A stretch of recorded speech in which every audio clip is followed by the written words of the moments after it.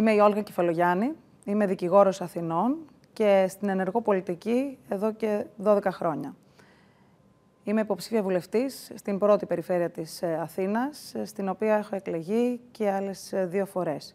Έχω διατελέσει υπουργός Τουρισμού από το 2012 μέχρι τις αρχές του 2015 με μετρήσιμα και απτά αποτελέσματα στον πιο κρίσιμο τομέα της ελληνικής οικονομίας.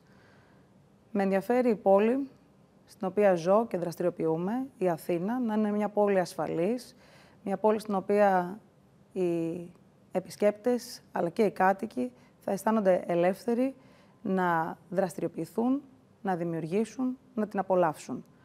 Και μέσα από το εκπληκτικό πολιτιστικό απόθεμα που έχει η Αθήνα, αλλά και τον σύγχρονο πολιτισμό, να δημιουργήσουμε μια πόλη που θα είναι φωτεινή και που θα είναι ένα σύγχρονο παράδειγμα μιας ε, πόλης που έχει συνδεθεί με ό,τι καλύτερο έχει προσφέρει ο δυτικός πολιτισμός.